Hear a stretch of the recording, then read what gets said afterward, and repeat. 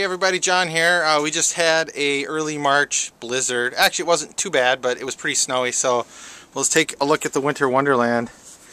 As you can see, it's pretty much snow everywhere, but that's not too bad. I mean, it was kind of fun. It's uh, it's kind of pretty out. So you know, they say it's going to be 50 in a couple days. But so if this is our last big blizzard of the year winter was about as good as you could hope for. And uh, Teddy, I took Teddy, our little dog, out, and he was running around in the snow. So, anyway, hope everybody enjoys the last snowstorm of the year. Hopefully, it'll be 70 by like next weekend. Okay, bye.